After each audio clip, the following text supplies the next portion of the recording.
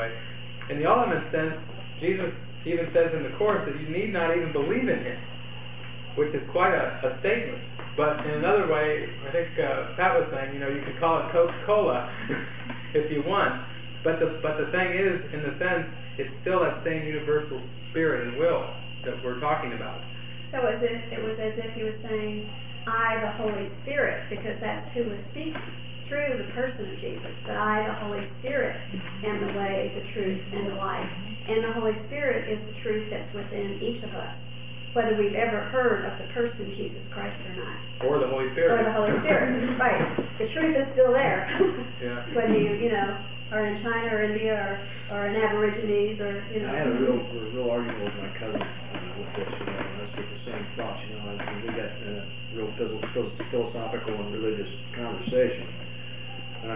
Said, Dick, I said, all these people in Africa that never heard of Jesus and whatever, they're all going to hell.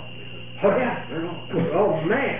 I said, well, listen, you know, you, you kind of damned the, the whole, a lot of these folks out here. And I said, well, they never heard of Jesus. And I said, well, I don't think God operates that way, Dick. I just yeah, but see, the scripture that says He's revealed those things of the earth. Right.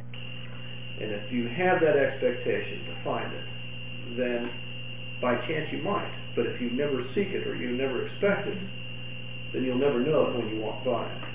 And so that's, that's the basis of what he's saying here about perception too. That's kind of like what you're looking for within. You know, what you're really sincerely, devotedly looking for within, you'll see without in the world. So in other words, a lot of times people may even get into the, the trap of like comparing the course to the Bible. You know, and saying the Bible comes up short to the course.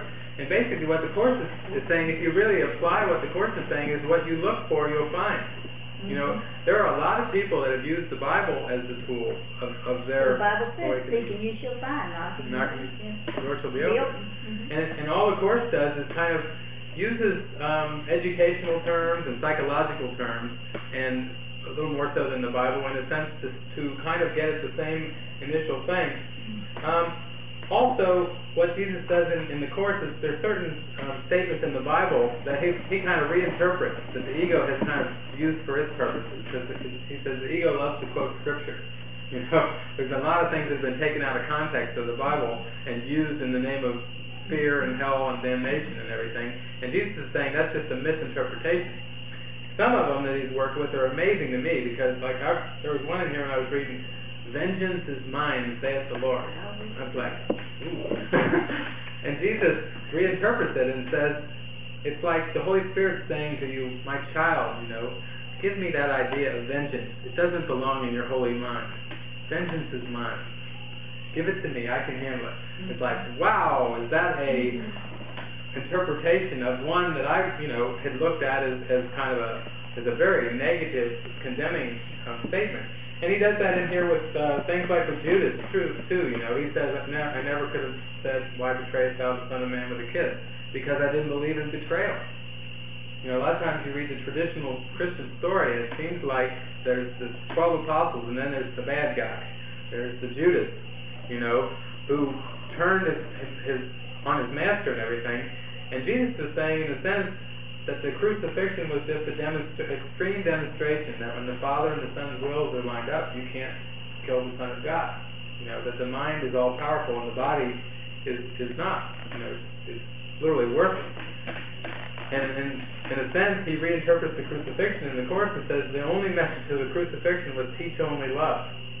Now that's a pretty radical interpretation when you know ego interprets the crucifixion as you know that one of God's beloved sons had to suffer and die to take to be the Lamb of God, literally, to, to take all the sins of all the world on himself. An innocent um, son had to do it.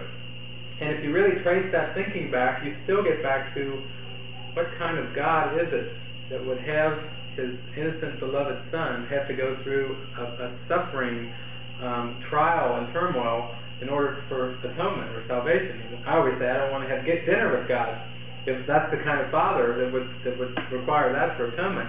And the course is saying that basically, from Jesus' perspective, he did not perceive he was being attacked. Through the ego lens, it, it looks like when somebody is is kicking you and, and spitting upon you and screaming, "Kill him!" that this looks like an attack. But Jesus says, I did not share that perception. In other words, he saw it as just a call for love. You know, forgive them for they know not what they do. And he calls us to similarly change our perception so that we can have such a trained perception that we literally go beyond the perception of, of being attacked by people. And we see it, see everything as either a love or, or a call for love, which is a real. You can see that takes a real highly uh, changed perception. You know, we were talking. Nick was talking tonight about the soul, seeing soul to soul. In a sense, is what the, the course is saying is that when you realize that, that your brother's just calling out for love, instead of perceiving him as attacking you, then you will respond with love. And that makes a lot of sense to me.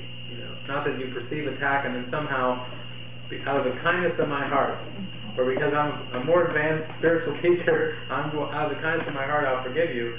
Jesus kind of says that's not forgiveness. You know, you can call it what you want, but it's not, you know, true sense of forgiveness.